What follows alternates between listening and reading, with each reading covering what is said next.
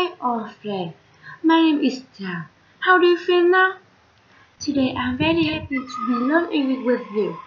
Thank you very much for giving me this wonderful opportunity to speak here. Do you know what English? Learning English is difficult or easy. Now I want to tell you how to learn English.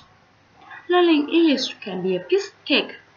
However, many people are worried about learning English.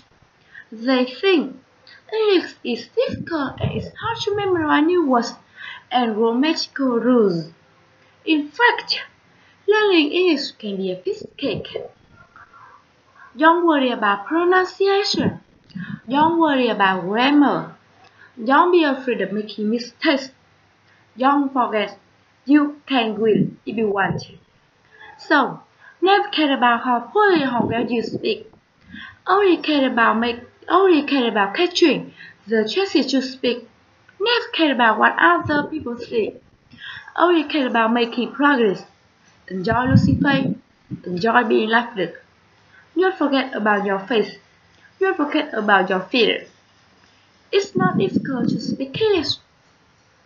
Let's speak English as much as possible. Successful people spend a lot of time practicing. But why was we master the language? Because it's very important tool and powerful weapon. It's also very necessary skill for our life and our success in the 21st century. So, we should spend a lot of time and energy for it. It's will to improve yourself, to serve our country and Vietnamese people, and to communicate freely with the world. This is our ultimate goal, the our number one mission. Edison. I don't want to let my parents down. I don't want to let my I don't ever want to let my country down. Most importantly, I don't want to let myself down. I, I want to be successful. I want to be international. I want to be I want to I want to change my life.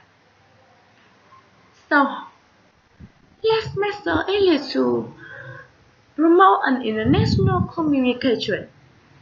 Let's master English to express Vietnamese language and culture. Let's master English to make Vietnam stronger and more prosperous. Let's master English to make our future brighter. Let's master English to Let's master English to make our world a better place. Remember, nothing is impossible when you dream. Our dream is to speak perfect English. If we never give up, we need to be really to be we need to be really to learn. And we can achieve everything. We can practice we can practice speaking English together every day. Every time you move your mouth, your memory will deepen, your muscle will strengthen, your confidence will awaken. The more you speak, the better your English will become. The more mistakes you make, the more progress you will make. You must enjoy making mistakes. You must enjoy speaking. Poor English. Speaking is the only thing that will lead you to success. Don't give up. You try your best. You will make it. You will do it. I totally believe in you. Thank you very much.